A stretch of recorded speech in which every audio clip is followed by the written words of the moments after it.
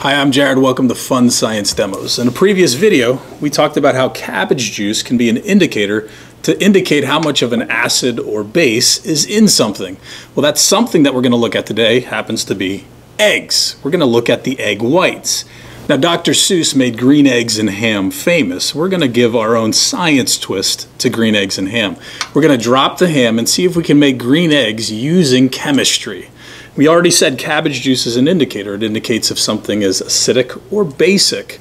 Well, we're going to need to look at eggs, take a closer look at eggs. And we're going to first need to separate the egg white from the egg yolk. And to do that, I'm going to crack them open, keeping the egg yolk in half of the eggshell, and go from eggshell to eggshell, eggshell to eggshell, see if we can get the white. Let's give it a try.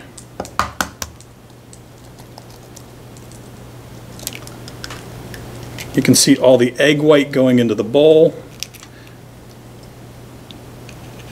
And now I have my egg yolk and my egg white. Let's do it to the second egg.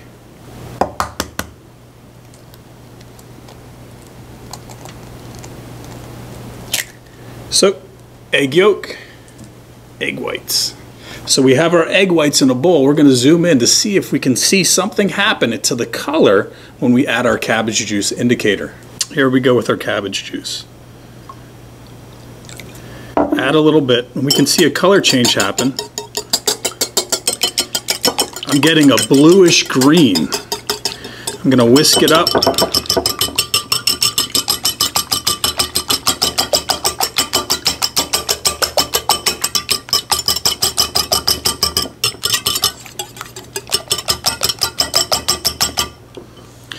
Now we get this green-like color in our egg whites. So we have a hot frying pan with some butter.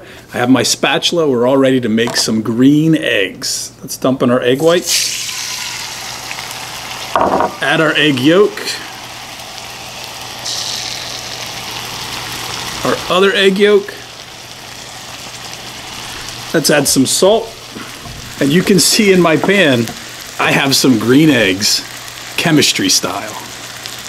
So what science is at work in our recipe? Well, we have our cabbage juice indicator that tells us if it's acidic or basic, and we have our egg whites. When we added the cabbage juice indicator to our egg whites, it turned a different color.